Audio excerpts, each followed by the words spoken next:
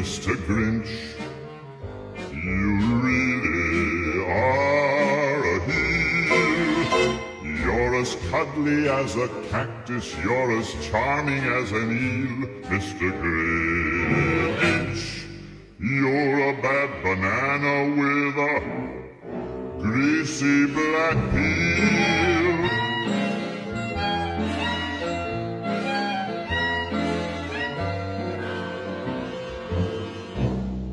You're a monster, Mr. Grinch.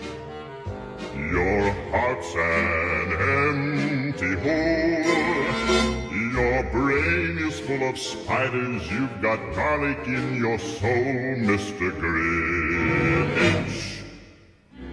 I wouldn't touch you with a 39 and a half foot pole.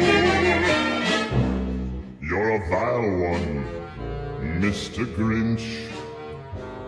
Have termites in your smile. You have all the tender sweetness of a seasick crocodile, Mr. Grinch. Given the choice between the two of you, I'd take the seasick crocodile.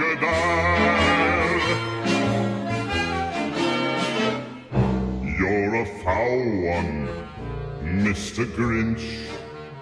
You're a nasty, wasty skunk. Your heart is full of unwashed socks. Your soul is full of gunk, Mr. Grinch. The three words that best describe you are as follows, and I quote Stink, stank, stunk.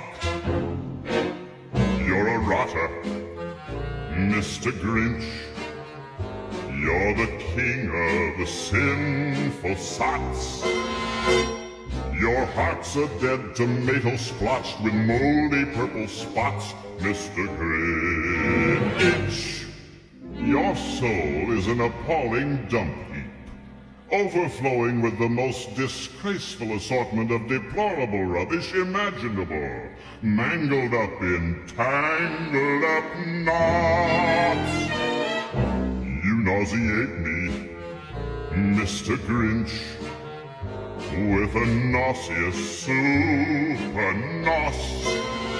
You're a crooked jerky jockey and you drive a crooked horse, Mr. Grinch. You're a three-decker sauerkraut and toadstool sandwich with arsenic sauce.